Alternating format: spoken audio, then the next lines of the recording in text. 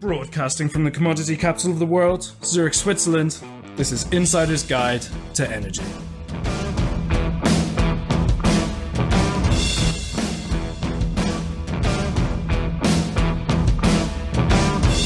This edition to Insider's Guide to Energy is brought to you by Fidectis. Go to www.fidectis.com for more information.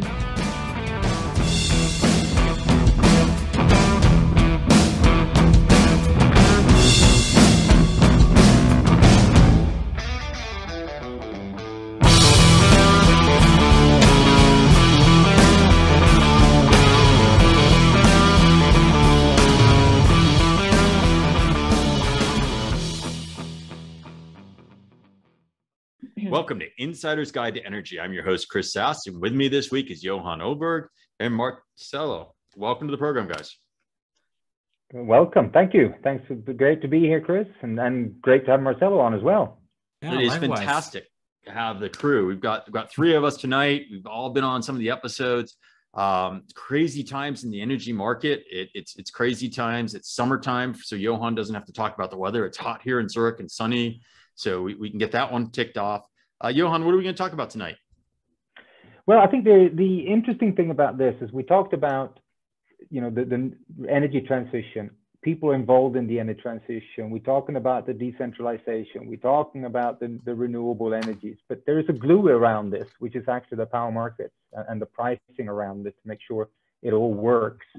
And uh, I think that's going to be quite of an interesting uh, discussion today to see what is the future of this? How does this fit together? Are there any challenges and how do they wrestle that in, in, in the coming ones? Because it is an important part of And I have to assume those are rhetorical questions because I, I, see all kinds of problems every day going on in the market uh, around us, right? The, the news isn't particularly good. Uh, energy security seems to be a problem. There's questions about markets and, and, things like that. You know, the, the British nickel market didn't really help people feel comfortable with markets in the first place. And now the world's changing, right? So, yep. so I, am looking forward to having experts. I know last time we had Nord Pool on, we had an amazing conversation, tons of downloads. So I'm looking forward to tonight's conversation because it, it was a great conversation and I have great expectations tonight. So I turn it back over to you, Johan, to kick us off.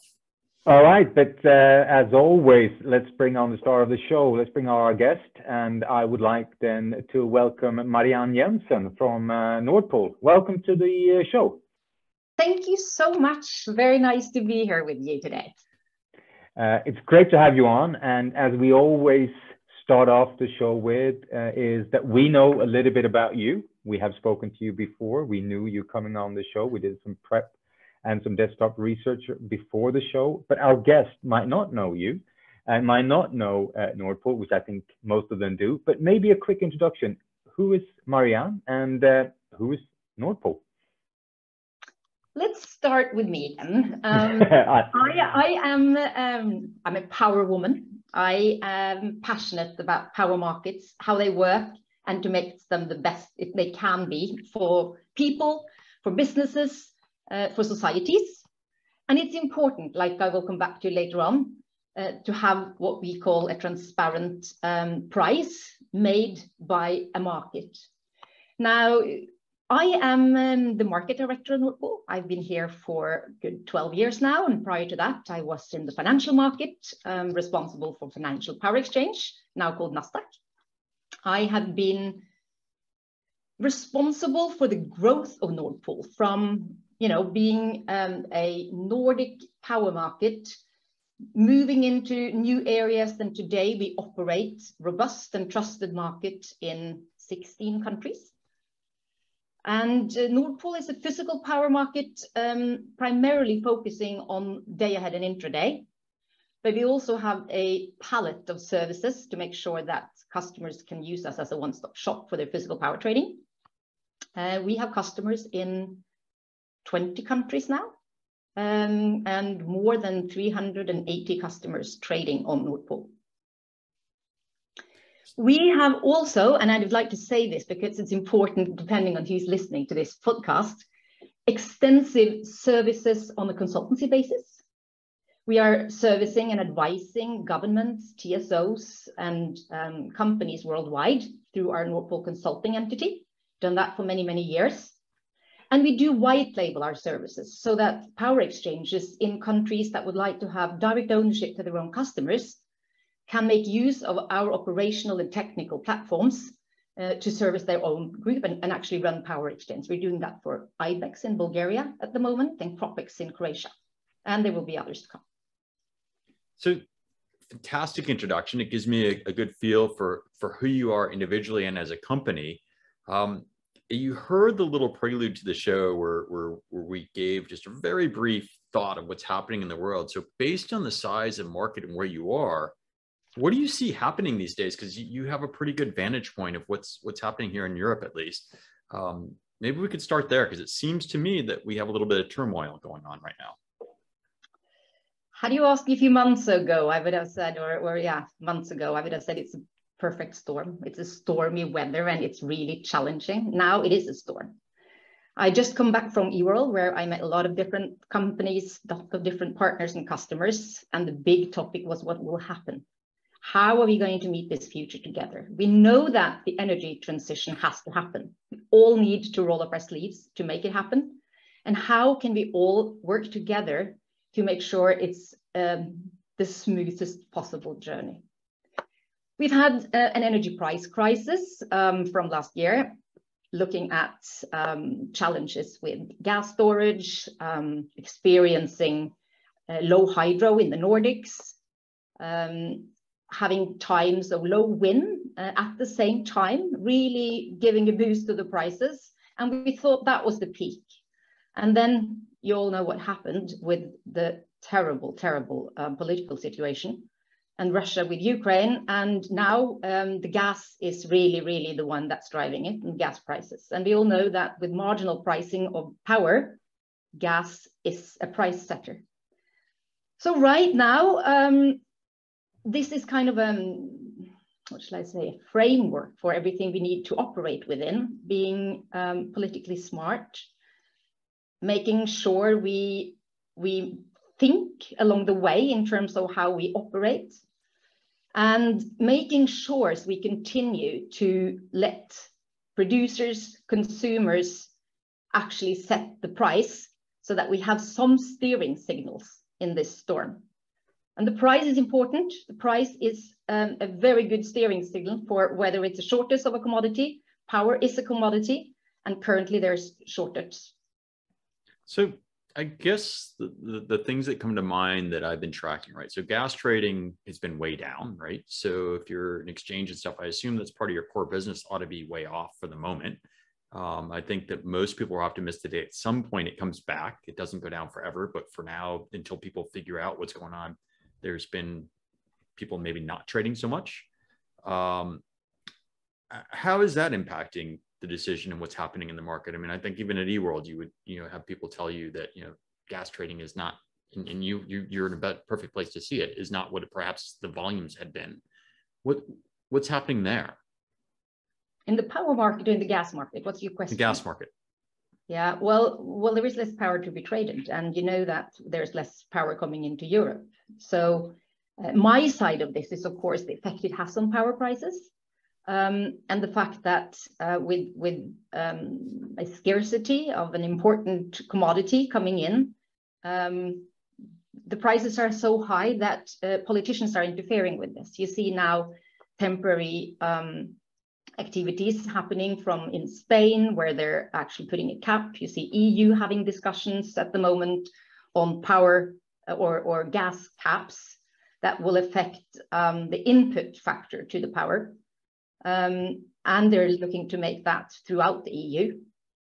Um, there are so many discussions on in terms of how to deal with this.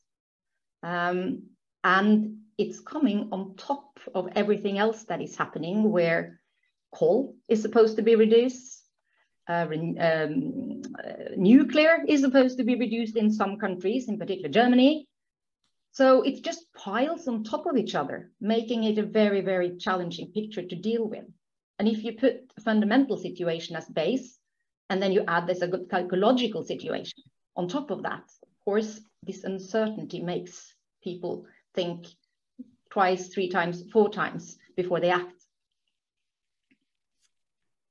But is that isn't that also a little bit of the the challenge we've seen? We, have had a number of different guests on this show where where it's such a complex ecosystem around decisions uh, for, for this for energy in general. And, and obviously when you're transforming an industry like this it becomes even more because it's also something that's crucial for for every being. But would you say based on on on a little bit what you mentioned in, in terms of government interference you know sometimes that's we can always look at if it's good or bad but in in, in the current situation in terms of the interference that is right now is that is that hinder um, the, the the market or is it is it a good thing that the government goes in now and supports I think it depends. What is your opinion? How, yeah, yeah, my opinion, of course. I, now, I think it depends on how they go in and support. And I think um, if the if this if the interference um, is at a level that actually hinders a public price to be formed by buyers and sellers, you are actually also hindering investment signals, which are absolutely necessary for investors to invest in green shift, in yeah. renewable. And we must have renewable power into this. But you can also do it more on the consumer side, which is an opportunity um, in terms, like for instance, an example is uh, Norway and Sweden, where there is a there is the price cap, but the government takes some of the burden of a price above a certain level, um, subsidizing for a period of time. That means you still have a market-based pricing. Everyone knows what the price is, but then it's a substitute um, only when the price is above a certain certain level. And I think that's more of a temporary solution. Yeah. I can understand the need to interfere. I can understand the, the, the situation where your input factor is gas. Uh, here in Norway, it's a completely different situation with hydro. So, so, mm. so you know, there is no, um, there is no only one solution to this. Um, but the fact that the EU is trying to put that things, um, put, put that everything together in, in, in a holistic way yeah. might help. But isn't that, I think, I'm, my personal opinion as well, I think this is quite interesting because in, in many ways is the, the whole transition into to renewables, to sustainable energy is, is also driven a lot by by regulatory and, and subsidies from from from the government. So it's a, it's a positive in one way, but I guess when we have number of different initiatives uh, across, if we take Europe as an example, uh, they're not always aligned. So so for example, if you look at the, the one you mentioned from Sweden and the subsidies, obviously the, the, high consumers of energy are the ones who've got a lot of the subsidies as a consumer, and who are the high consumers? Well, the ones who has the big houses, where probably then this is not the biggest cost. So yes, it was a political decision, but did it actually help for the energy transition, especially on this one, or should that money be spent somewhere else? So, so I think that's we can yeah, always juggle that around a little bit. I, absolutely agree, Vinny, and I think that that it might not benefit those that need it the most. So there you need to do it through um, housing support or any other way. Um, and and it is a crisis for many people with the energy bills that they see right now and and, and we have to to to help out in it from a social um, standpoint so so there is I, you know those who have the right answer i think i'd like to to to go back to the fact that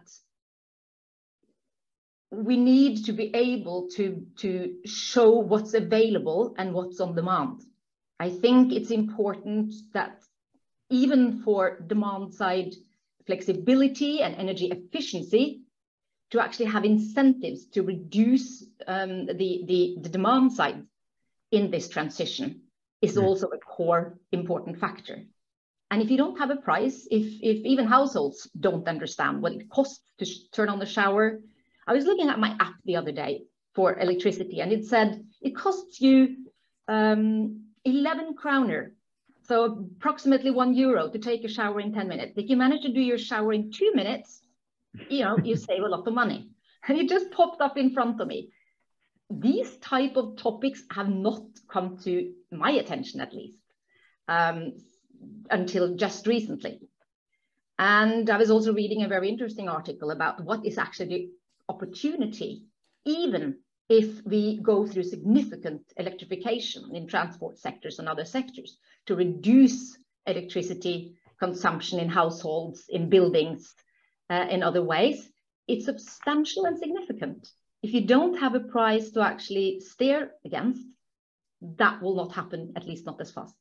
Yeah. Uh, I think Marcelo has a question. Yeah. On the question of the complex times that we're seeing in the power prices here in Europe, do you think, aside of the political situation in Ukraine and Russia, um, do you think that uh, as we traverse to the energy transition, the further along we get there, are we going to keep seeing these um, levels of complexity? As said, uh, uh, as we transition, is it going to be more complex? Are power prices going to be more volatile? Or is this just the effect of sort of the EU and Europe in general kicking uh, the transition into second gear? This Is a period of adapting to uh, no power sources or increasing their penetration that is being very turmoily in a way?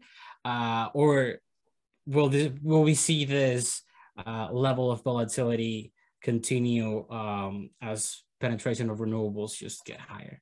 Yeah, no, uh, my personal opinion is that we will see um, continuous volatility. And um, I think the nature of intermittent um, production is exactly that. And from a market perspective, in Nord has been developing power markets for 30 years, and we have needed to adapt it to new geographies, new ways of working. When I started, we had uh, the power market was 70% about people, you know, 30% about technology. Now I think it's about 90% technology and and uh, 10% people. People are still important, but the technology rules. With intermittence, um, there is a need to uh, do more automated trading. Um, there is a need to change the market design with inclusion of 15-minute products. This is happening as we speak. Germany already has, in, in also the day-ahead spot market, we will have include 15-minute product. It's a must if you have if you are a renewable producer. Um, intraday will be traded much, much faster with 15 minutes. You know, hands will struggle. You need robots or automated trading to do it, AI. So there's huge changes that will happen. And of course, this will also um, influence volatility. And then you have the other side, you know, um, how will battery play a role? Batteries. From our side, you know, the battery would be a, a type of uh, producer and consumer in a way, right? Um, how will um, the local markets be able to pick up peaks and actually shave away the peaks because you actually make um, local um, peak loads or requirements uh, visible and transparent again. We have in Nord Pool, um, together with Agder we were founding fathers of a local uh, market setup which is in its um, you know piloting at the moment in many different countries, where you made visible what kind of flexibility was present in a local area, and how could you actually use that to avoid investments in uh, transformers, in grid, and that business case is enormous. So we'll see a huge amount of innovation, pioneering work, transition to actually get to to to um, to the future. So it's and, reassuring to hear what you say because it's consistent with a lot of folks in the industry, right? So we are talking about the, the transition coming down. Um, even if you everything from the substation on down, you know, how do I do more with the infrastructure? Because if, if we truly electrified everything, we don't have the capacity perhaps, and you, you need to do these things not even for for shaving uh, you know your your bills, but also just to, to get the scale of what we need to do. I guess going back to the premise you kind of opened up with with the unusual times that we're in is one of the things that that seems to be apparent is that that you know there was the very beginning of this political kind of issue everyone said well energy security is really important and it's going to drive the renewables but perhaps what you're seeing is coal and you're seeing um, nuclear and others and, and folks are taking a, a road that is maybe slowing down and i think you alluded to this to the renewables um, whether it's because of the investment you described as saying, hey, if the market's not you know transparent, you know maybe the signals to put more investment around out there. so are you seeing this? I mean, from from the conversation points, I'm certainly hearing this saying, hey, this may not be great for the renewables. In the beginning, everyone was like, rah, rah, this is going to accelerate energy security. But now it, it seems like there's more coal getting mined and, and things like that, and more of the hydrocarbons being used because that's what people have. Is that truthful, or is that just kind of conversation at the water cooler? No, I mean, we, we, we see Germany now talking about the coal side again. We see um, lots of discussions about nuclear. Um, but there on the nuclear, I think it, it's a political situation that varies between countries. So, you know, we, we right now there is a, a challenge uh, and delays with the Finnish nuclear coming on stream. There is, um, you know, also uh, maintenance in, in France on nuclear. But I absolutely see um, that many countries will continue to provide nuclear to the market as, as based on electricity. When it comes to coal, um, CO2 will have a price and that's a political tool. And with more coal, there will be even higher price for CO2 because there will be scarcity because they pollute, the coal pollutes. So that means high prices again might actually give investment incentives to the renewable side. We hope so. Um, but I can definitely see that some get tempted to, to revitalize um, old coal power stations that could still be made to life um, for the moment. And I think we will see it happen. But what I, what I just heard was a very free market um, thought that if that happens and CO2 prices are traded and they go up and high enough, that, that the, the economics will incent going back to the energy transition and, and, focusing on that once once the prices get to a high enough point is what I think I took away from some of what you were saying. I hope I hope not. I think we have to roll up our sleeves here. I think everyone needs to contribute. And I think we need to to sit through a period of high and volatile prices and actually take that on the way and find solutions that that don't interfere with the big job we have to do, which is the energy transition to actually save the planet. Um, so Marianne, I wonder what is the specific role of Nord Pool in the energy transition? Is it through enabling some of the uh, volatility reducing um, solutions that you mentioned, like that 15 minute uh, settlement period, uh, AI uh, power trading? Is it through enabling of those, or is there anything else? How do you see uh, Nord Pool contributing and rolling uh, your sleeves up? Well, first of all, the most important product we produce is the price, right? A transparent price coming from the market itself, not being set by anyone. It's, it's the market-based price. And to be able to deliver a trusted and robust sort of market and a trusted price, we have to uh, facilitate for new ways of trading. Um, we have to and want to facilitate for all the renewable that's coming into the market with new products we definitely see our intraday market uh, rapidly growing, and it, that will continue. Um, intraday is a continuous market where energy is bought and sold continuously. Uh, throughout Europe, we also see that uh, there is a need to trade green certificates. And um, I'd love to just tell you about the, a, a pilot we're doing um, together with a very innovative, interesting company called Granular, where we uh, see how we can offer hourly green certificates as tradable instruments. Today, PPAs and green certificates, they're traded long-term, monthly, annual, but they don't really reflect the way power is actually traded. So we want to make the, the certificate trading more granular, more linked to the, the way power is trading. And you know, along the way, starting with hourly, along the way also down to 15 minutes, so we can actually follow the power. So that's one way where we innovate and, and, and try new, new ways of working. And I think the Nord Pool way is in collaboration with customers. We, we are close enough to the market so that we understand um, what the customer's strategy, producers and consumer strategies are all about, what tools they need, And we can't fix everything, but the best we can do is to make sure that they continue to bid and, and trade in an open and transparent marketplace. It's also trusted because we have market surveillance. So um, everything that's happening on the platform is, is overlooked by, by a you know, very competent market surveillance staff that creates further trust. So you've been a leading player in the since the 90s around this, as you described. You, you, are expanding into to new markets. You're continually adding new products for, for the actors on the energy market. Uh, and as you describe now, you, are part of a lot of interesting initiatives, uh, especially for the energy transition. Uh, but as in everything, it's not all roses in, in, in the future. So in this energy transition for a player like you, what, what, what do you see as the kind of the main challenges for, for, maybe for the market, but we discussed that a little bit short term and midterm, but maybe for Nord Pool, what, what do you see as, as your role and what are the challenges for, for you in, the, in this energy transition? Well, I think that the, the, the, the weight between regulation and and and you know the, the, the, level playing field of regula regulation is a challenge. I know we have been a challenger growing into, for instance, Central Europe in many countries there.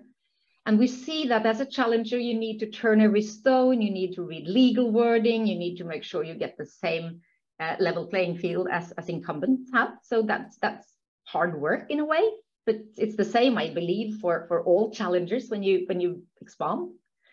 I think it's um, in terms of this um, the way markets are developed and security of supply tempts um, a focus further on more system needs than market needs. The current market is built on the needs of producers and consumers to contribute, set the price, um, I do see and I do worry somewhat about the focus on uh, the TSOs and the power system needs more. Um, the fact that there is so much need to build further um, cables and, and, and power lines um, and it's lagging behind so that that's going to be the showstopper and, and takes us backwards, um, you know, not into the future the way we would like to see. Um, I also worry about this non-customer centric approach. I think customers now, both buyers and sellers and traders, are used to being seen, heard, uh, worked with, being able to have a voice into the market developments. Um, if this is going the opposite direction, that's not good either, because then you start having more bilateral discussions, more bilateral trading. That's not the way forward, I believe. And I also see that in particular in, in uh, Northern um, or in the Nordics right now, financial power markets are lacking liquidity. That's also a challenge because everyone needs hedging and uh, big discussions in the Nordic right now is how can we, uh, or at least in Norway, is how can we, with the current price regime, uh, enable more uh, fixed price solutions um, to end, end users and end consumers, the way they fix their interest rates and um, anything else. So there's lots of worries out here. Any kind of market intervention is a worry uh, that it, it, it's going the wrong direction. We believe that the market will do the job if we let it. And then we can have adjustments along the way, of course, and political interference that makes sense at the time, but only temporary. So you alluded to um, that there's more and more bilateral. I'm assuming is there a spot in your future world um, for OTC, or does OTC eventually wean down to everything being market traded at some point? I think it's quite different country by country. If you look at the Nordics market, um, there's not that much OTC happening, but you do have some long-term PPAs because the financial market is not covering um, that time frame. But uh, there is a very high market share, uh, above 90% um, traded in the physical market. If you go to Germany, if you go to France, um, you have a habit of more OTC trading. I think it's a combination of relationship, um, the price of OTC, contract, price of having to post collateral, because collateral is another concern these days with the high power prices. Um, and that tempts uh, players to, to do a bit of both. Um, and it all depends on, on how margining and collateral is, is handled in the OTC world. And I think, that, think that's quite different. Uh, it's not one fits all. Uh, on the power exchange is very standard. Uh, and you definitely need to post security for what you trade for. And that is at the moment quite costly.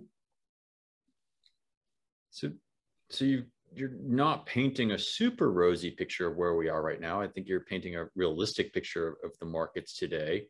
Um, are there strategies or things that you would recommend so folks listening that are in positions to take advantage of the market and things like that? What kind of strategies can companies be considering, or would you think they should be considering to deal with the things we're talking about?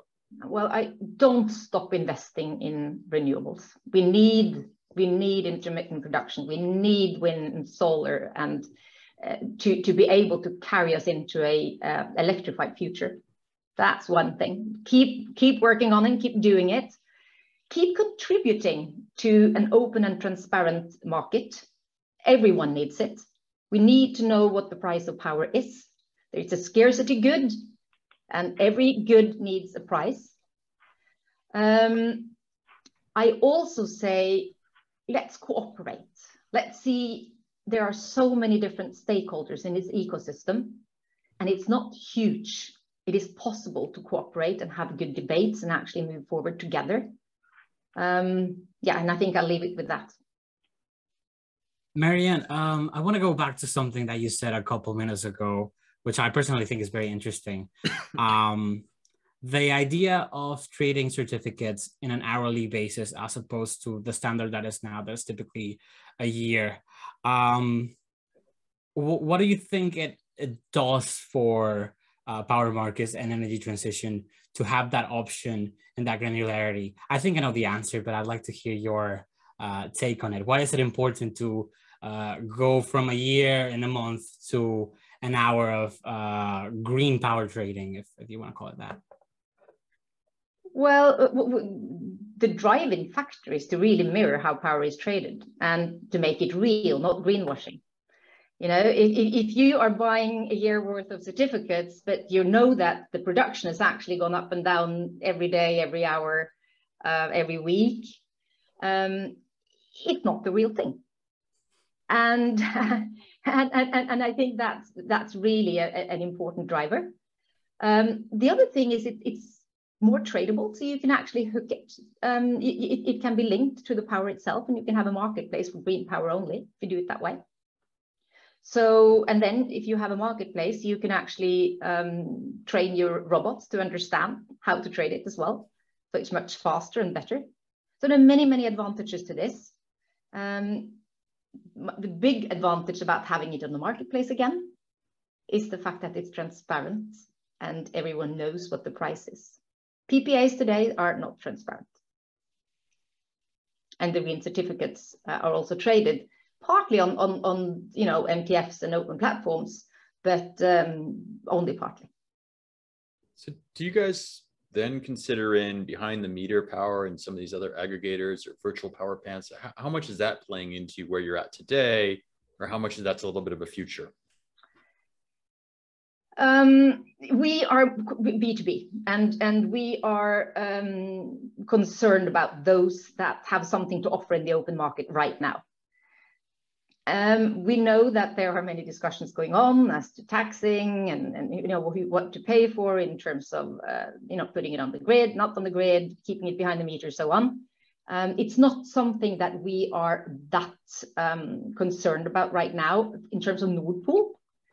Um, I also think that if you want consumers to invest in their own um, power plants, uh, whether it's on the roof or on their property, they need some incentives to do so. So uh, maybe look at the big aspects first and then go to the smaller aspects later. One thing, we had some guests on the show previously, we talked about investments. Now coming back to your, you think about transparency, but tying that to investments, because as, as we look at it today, uh, is there any way, because they're incentivized from governments, that there are a lot of investments, uh, is there any way to to look at almost the transparency also on the investment with sustainability versus uh, oil, gas, and coal, for example. Because uh, what we're seeing, according to one of our old, uh, one of our guests here before, the investment rate uh, for, for, traditional or for, for, for, oil, oil, coal, and gas is still uh, by far today bigger than the renewable part. But now so, you're talking uh, the world, right? Yes, the yes. world. Yes. Yeah. Yes. So, but if we go into Europe, I don't know the, the, the actual breakdown numbers in Europe based on our guest, uh, but, but in general, especially also from some of the large oil and gas companies. Uh, how do you see this in order for, we talk about transparency and price is one important part, but on the other hand, we're talking about the investment to actually get this going. We're saying keep investing. But if we're investing in, in a sinking ship and all the, the main investment goes somewhere else, then so is an oil company a sinking ship is a big question. An oil and gas company and a sinking ship, or is it not? Or are there ways well, to use the profits from oil, uh, you know, for the current production of oil and gas to actually invest in renewables? I think governments have the ability to do to tax and make sure they steer the money where it should be. And then I'm back to all of us rolling up our sleeves together and yeah. getting this economy where it needs to be. But do you see that happening now? Do you see it, or is it still? I uh, know. I, I wouldn't say investment greenwashing in terms of uh, renewables. Yeah, or... I I see a lot of questions about it and a lot of discussions about it. Hmm. I don't, but but but I might not see the whole picture. So so you know, but but I don't see that. Um, money from gray necessarily flows to the green. Hmm. And I see that investors are short sighted. They want money now rather than later. So there's only, um, the only way is through, I think, steering and taxes and, and, and, and regulation to actually get the money where they need to be and that's back to the politicians and how they allocate. I, I believe that we need to, um, to, to, to take money and allocate money in a way um, that facilitates for complete green shift. Which, which brings us back a little bit to the complexity of the entire industry because we're talking about a free market and we're talking about no regulations and then we're saying regulation needs to be there in order to drive the transformation. Uh, so I, I, guess that's a discussion all on its own. Uh, in, in, there are some uh, dilemmas here. for sure. There are uh, some dilemmas, dilemmas, even between this kind of the control driven contra the free market driven. Yes, they will, they will all, and I think these dilemmas will continue to find a balancing act in the whole picture. Yeah. So, so you mentioned that you're in a number of markets. So, and, and you talked a little bit about your local market being different. So, are any of the European markets more healthy right now than the others, or is everybody pretty suffering right now? I think everyone is suffering, and but but maybe for different reasons. I think um, markets that are lacking gas are suffering um, because their whole industry is dependent on it. Um, in the Nordics market, we also have lack of hydro. It's a dry year. It's it's it's challenging from that point of view. The discussion we're having in Norway is why do we need to export all our hydropower to countries um, so that they get the green and, and, and we have high prices, right? So, so, so it creates so many discussions on this. Um, I, I think that um, the, the, the, how should I put this?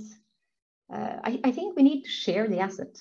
I think Europe needs to share to be able to, to get through this situation. And if we don't manage to do that, um, we will all be troubled. And so I uh, smile because we just went through COVID and we saw how well sharing and playing nicely worked for for the global the globe, right? So sorry, I don't mean to laugh or smile, oh, but I, in our DNA, I didn't even right? see like when, when something is scarce, we we we we we capture, but we need to share. We we have developed, you know, the Nordic mar market model uh, has been developed uh, it's been adopted throughout Europe. It's been working for a long time. And if we can develop it further in incremental developments rather than, than, than interfere with um, making less um, power flow into the price formation and less demand, you know, bidding into the price formation, then we're really taking ourselves years, years back in time. And I don't think it's good for the future. So I think uh, coming up a little bit to the hours, but enough of the doom and gloom. So for Nord Pool and going back on, on a high note, so, so we, are looking at this unprecedented situation that we've been in now, and especially our ride up into. Uh, you came back from from E-world. Uh, I know Chris was there as well, which is a big big part of of the at least the European energy uh, community comes together. Uh, any any kind of um, positive things? What was the, the, the kind of the, the, the sunshine stories that was discussed at at E-world? What, was there any positives to pull out of this kind of situation that we're in? Uh, yeah, I think that that it was positive that um, every entity I spoke to and that were money, they are willing to to work together to actually solve um, the bigger challenge that we all have. Um, they're looking for help and direction. They're worried about their assets. You know, is gas assets going to have a value if there's no gas coming into the system? So they're looking for solutions.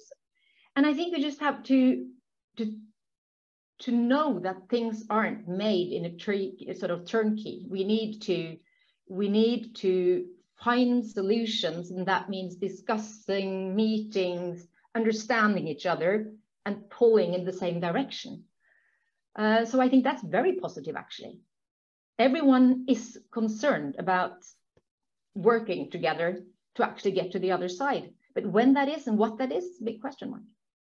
But would you say that uh, out of your your experience, of course, being in the industry for a long period of time, understanding this quite well, and, and being also in the center of, of this, and, and would you say that we are in a position that where the situation that we're in now we might have a little bit of a dent on the energy transition towards more sustainable or to a green, or is it actually in, in progress actually to do this? Or worst case scenario, are we then pulling this back as we discussed previously and saying, you know what, coal will increase, we're going to. I would say all of the above. I would say there's good willingness to move on. I say that there's worries and, and challenges right now that makes people stop and think and you know try to how can we do it in better ways now with with the situation we're in but if you look back it's only 2020 we have the lowest price ever uh, in, in in in in for power 2020 was the lowest nobody could even imagine the situation we're in right now and maybe one year from now things have changed we don't know but we need to prepare for the worst and we need to prepare for scarcity and we need to prepare. You was reading, I was reading just yesterday, or was it today even, that um, EU is going out asking for for um, uh, you know to reduce demand. Every single citizen, how, can you please reduce demand? We need to do it, all of us, and and and, and kind of everyone pulls in the same direction. But I would say all of the above to your questions. I think yeah. yes, it's a special situation. Yes, we've been in special situations several times before. It is extra special, probably. Yeah. Probably, because we haven't seen it before, right? Does markets and uh, the energy uh, world um, usually sort itself out? Yes. Independence of Russian power, new renewable, we just need to stick to what we know is right, and we need more investments. Marcelo, do you have any final questions as we're coming up to time? Any thoughts that you want to ask about? No, I think it's pretty clear. I've asked uh, all the questions on the energy transition side that I had. Did you get um, answers? Did you were you happy with the answers? Oh, definitely, definitely. I agree with uh, some of the points you have there, and it's yeah, it's about uh, you know everyone from uh, the big corporation to the small guy. Uh, you have to roll up your sleeves if uh, we are gonna actually make this transition anytime soon. Well, from, from my point of view, it's been an interesting conversation. It may have been a little bit of doom and gloom, but I think it's the elephant in the room that, that everybody's talking about. You know, we were at E-world, people are talking about it. I think, you know, energy, politics, and economy all go together. And unfortunately, there's there's some bumps in the road before it gets better from, from where I sit. Um, you know, for individuals in the industry, I think, you know, people as we started the call before we started recording the show today, I said, you know, there's always interesting times in energy. It's always it's always challenging. There's always a new time that's going to be the worst time that we've ever experienced. And we're in one of those interesting times. And, and as you alluded to in your answer just a moment ago, is generally we work something out and come out the other side. It's just we don't know what we're going to work out yet. And so um, I appreciate you coming on and, and, sharing a little bit about what Nord Pool is doing and, and especially your firsthand kind of experience and conversations coming back from E-world and meeting with so many of your customers and, and industry perspectives. Um, any closing thoughts before we wrap up that you wanted to share with our audience? From my side, um, keep a good spirit, keep up the good work. Um, the fight to mitigate climate change is our fight, all of us. Um, and everyone needs to do what they can do to contribute to this. Nord Pool will continue to um, aid the green shift. We will continue to pioneer power markets and make sure that the markets are simple and efficient and secure to trade in. So everyone um, who either is a producer or a consumer or even a trader, make sure you also use the power markets going forward. That's important. well, thank you so much for being a guest on the show today. Um, for our audience, this has been another episode of Insider's Guide to Energy. We hope you've enjoyed the content. We hope it's timely and it gives you a little bit more insight on what's happening in the market today. Um, if you're listening to this uh, in real time, uh, make sure you check out our next generation of Energy Leaders podcast. The mini series starts this week. It's going to be out in the next couple of weeks. It's an opportunity to hear what the future leaders in energy are thinking and what they're doing to make the transformation a reality. So we hope you enjoy that as well. And as always, don't forget to comment, don't forget to subscribe, and tell your friends about us. We'll talk to you again next week. Bye bye.